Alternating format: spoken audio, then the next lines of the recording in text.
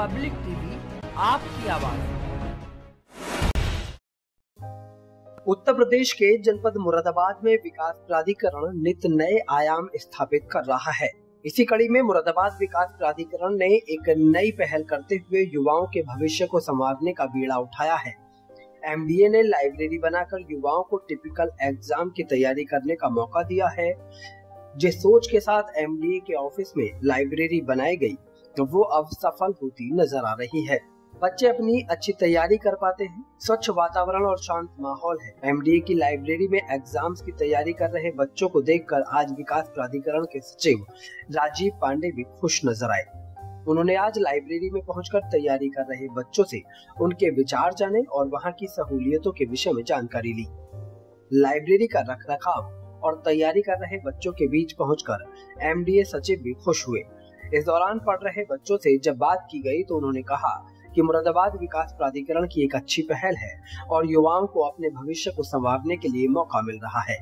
बच्चों का कहना था कि यहाँ सभी अपडेटेड बुक्स अवेलेबल हैं और सभी प्रकार की एग्ज़ाम्स की तैयारी बच्चे आसानी से कर सकते हैं।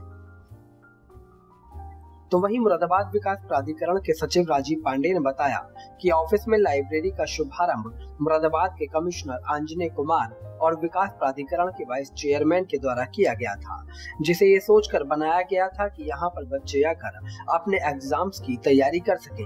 प्राधिकरण के अध्यक्ष और उपाध्यक्ष ने जो सपना देखा था, वो अब पूरा होने लगा है। उन्होंने कहा कि लाइब्रेरी युवाओं के भविष्य को ऊंचाइयों तक ले जाने में काम आ रही है।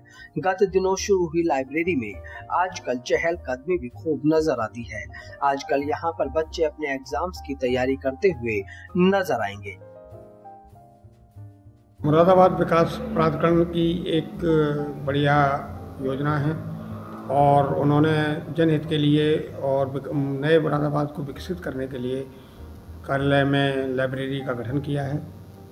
इस कार्यालय के अंतर्गत विभिन्न प्रकार की पुस्तकें रखी गई हैं, जो प्रतियोगी परीक्षाओं के लिए और अन्य सामाजिक लोगों के लिए उपयोगी हैं।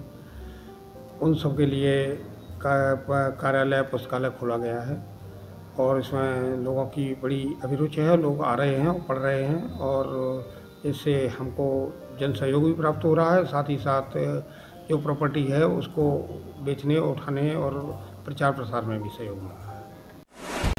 पब्लिक टीवी आपकी आवाज़।